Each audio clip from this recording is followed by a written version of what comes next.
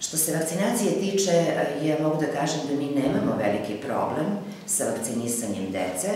To su ipak starija deca, ta deca su redovno vakcinisana i u preškolskom periodu.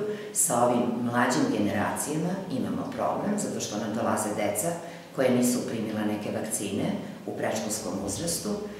Sa polaskom u školu oni su naši pacijenti i tu imamo problema. Sa ovom starijom decom ne, roditelji se vrlo lepo odazivaju na vakcinaciju.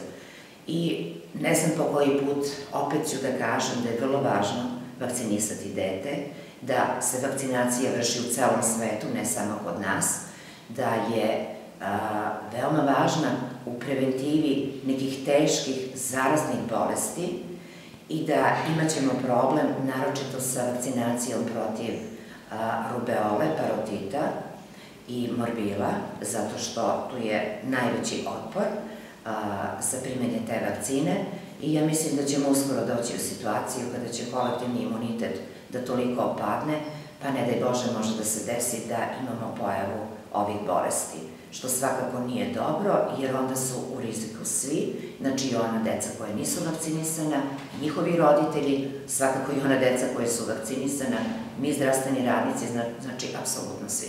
Zato ja opet pozivam roditelje da slušaju savete lekara, da ispoštuju nas, pre svega svoju decu i, svoje, zdravlje svoje dece i da dovedu decu da se vakcinišu.